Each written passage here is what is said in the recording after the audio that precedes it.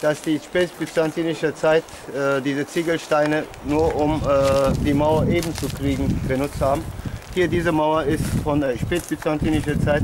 Da kann man sehr deutlich sehen, dass diese Ziegelsteine nur um zu eben zu kriegen.